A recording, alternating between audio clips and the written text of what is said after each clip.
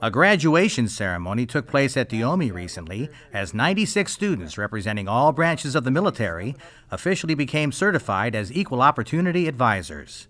It didn't happen overnight, however. These students of the Equal Opportunity Advisors course, Class 18-1, first had to go through 11 weeks of rigorous training.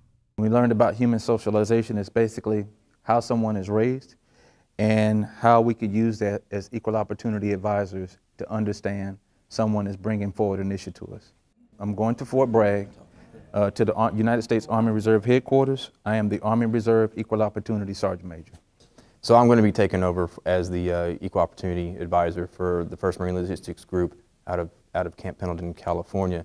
I will be basically the, the subject matter expert when it comes to being evaluating uh, cases of prohibited activities and conduct and then being able to facilitate the process of uh, having those claims come to resolution.